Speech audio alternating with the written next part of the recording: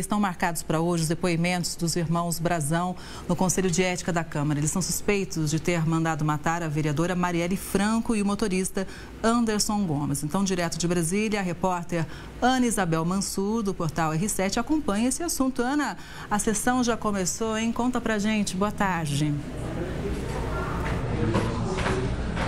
Oi, Kelly, boa tarde para você e boa tarde para quem está aqui com a gente. Sim, a sessão já começou, começou há cerca de 10, 15 minutos, mas os depoimentos ainda não começaram. Lembrando que hoje o Conselho de Ética da Câmara dos Deputados vai ouvir os irmãos Chiquinho Brazão e Domingos Brazão, justamente no caso que prevê a cassação do mandato de Chiquinho Brazão, que é deputado federal. Toda essa questão da cassação do mandato está sendo analisada pela Comissão de Ética da Câmara dos Deputados. Kelly, como eles estão presos, os irmãos Chiquinho Brazão e Domingos Brazão estão presos desde 24 de março, os depoimentos serão feitos de maneira virtual. Lembrando, Chiquinho Brazão é deputado federal, é, está sem partido, ele era do União Brasil, porém o partido o expulsou depois que ele foi preso.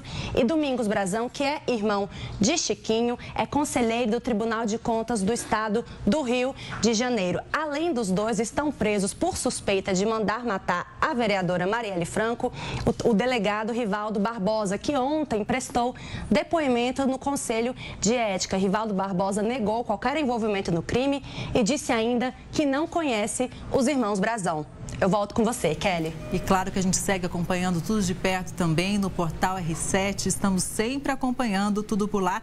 E essas, inclusive, são imagens ao vivo. E claro, mais detalhes você também acompanha aqui durante a nossa programação. Obrigada, Ana.